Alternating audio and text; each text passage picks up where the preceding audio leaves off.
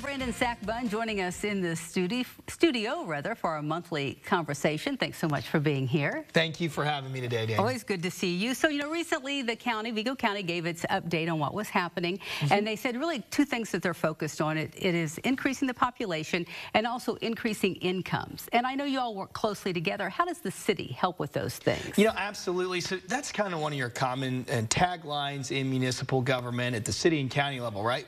We want to see jobs. We want to see the population go up. We want to see that median income go up. How do you do that, right? Uh, you know, when you've got a company like Amazon and Intech coming to Terre Haute and Vigo County, you've got to focus on workforce development. What does that mean, right? Can we take someone off the street? Can we give them the training needed to work in some of these jobs? That's why I support programs like the Goodwill Excel Center. Uh, they're hoping to open their doors this fall, which will be huge for the community. It allows folks to come in, get that high school diploma, get connected to employers. Uh, the city is looking at, at, adding job fairs to several large events, if not this year, the next. But can we reach out to Hoosiers who, who need to attend a job fair, who need to get that upskill program and get them back into the workforce? That's really how you go from you know population and income and synchronize it with a, a term like jobs and, and, increasing that income. So it sounds like you need to make sure your workers are trained and have the education that would want, want a company to come here, but then also let the workers know, hey, we got these jobs available. Absolutely. So part of it's communication, part of it's those upskill workforce development programs.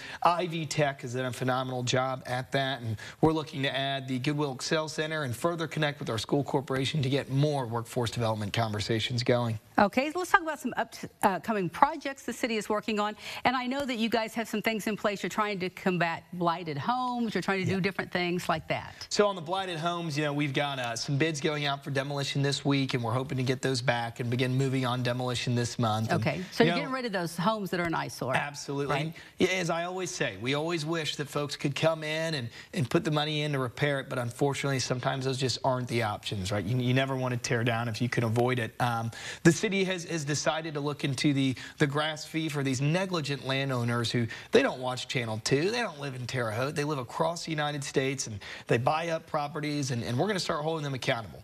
We're going to look at a lot of different uh, building permits and codes that we can use to make sure that if you own homes in the city of Terre Haute, you're taking care of them, you're taking care of our renters, our neighbors, our fellow churchgoers. So we're starting that process, and it did start with uh, looking at our, our city's grass fee. Uh, we're always on the lookout to make sure that these folks are, are held accountable. And now, to make sure that they mow those lawns so you're not next door to weeds? Absolutely. Yeah. Okay. That's, that's the best way to, uh, to describe it. And when it does come to, to city parks, uh, we are pumped to, to do our groundbreaking for Rea Park later this month. Mm -hmm. Our parks department is hard at work, whether it's golf or more summer programming. And I, really encourage folks to check out uh, the City Parks Facebook or the City of Terre Haute's website just to see so many events coming up in our parks department. And of course, golf has started, and I encourage folks to go out and, and take part in that activity. Well, certainly today would have been a great day for that.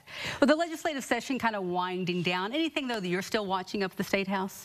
You know, I stay really connected with our local legislators, and, and we have conversations. Um, it is winding down. It was a very fast session, and, you know, we'll look at some of the summer studies that they do. Uh, all, all mayors are always looking at how they talk about, uh, you know, property taxes and some of those caps, and we're also very attuned to, you know, the casino tax conversations at times as well. But I'm keeping a close eye and close conversations with our state senator, Greg Goode, and Representative Tonya Pfaff. I got you. You want to make sure your funding is still coming. Is that it? Usually? That's always yeah. the always the conversation, indeed. Yep. All righty. And then um, let's also talk about the casino. You kind of mentioned that a little bit. A little over a month before it opens, what kind of conversations are you still having with the casino people? What kinds of things is the city doing to prepare for that? Absolutely. So, you know, we're always talking about public safety, making sure we are prepared for that. You do see some increase in, in ambulance runs and some public safety runs. But, you know, we are also looking at, hey, are we in the right position with our infrastructure, with uh, specifically East Margaret, some traffic lights? So a lot more conversations with INDOT, actually, uh, as a result of that casino being added. So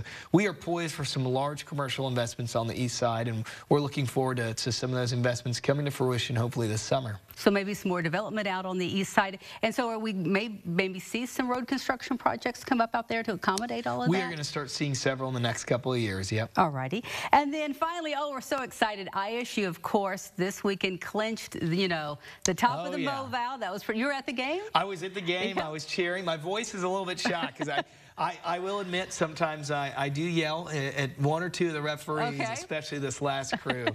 Not sure what they were watching, but we'll have to check those uh, contract prescriptions. Okay, and so then are you going to be able to go to uh, St. Louis? I know you're busy. I don't know if you're going to be able to, go to St. Unfortunately, Louis. not this weekend. I've Okay. got drill with the guard, but Okay. I'm confident the boys in blue are going to come back with a victory. What Coach Schertz has been able to do with that program is very inspirational. I mean, you look at the guard play that they've got with those two high-scoring guards combined with Robbie down low, and they've got an offensive system that I guarantee every other coach around the nation is looking at saying, hey, we want that. So wishing Coach Schertz and that entire roster the best. I know they're leaving here later this week, and they're going to come back with another trophy to add to their collection, and boy, do they deserve it. Uh, No, from- we certainly hope that's for sure. And how does it help the city that Yeah. these guys were so successful? I mean, when you're getting nine, 10,000 folks into that arena, just look at downtown during some of these games, right? People are pumped. They're wearing blue. They're, they're visiting our downtown restaurants and our bars. And, you know, it's a, obviously the food and beverage tax is a, a good increase, but it gives our community something to have some pride in,